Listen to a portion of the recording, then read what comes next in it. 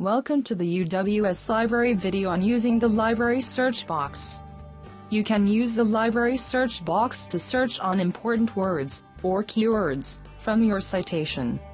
For example, to search for resources on federal law reports type the words federal law reports in the search box. By default the results are sorted by relevance. From the results list, select the resources that are most relevant to your information needs.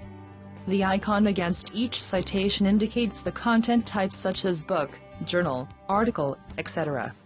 Use the facets down the left side of the screen to refine your search. If a resource is available online, it may be available from a number of different vendor platforms. Select from the list of available platforms. Use the Send To feature to forward a citation via email, export to EndNote, either desktop or web, or export a citation to RefWorks.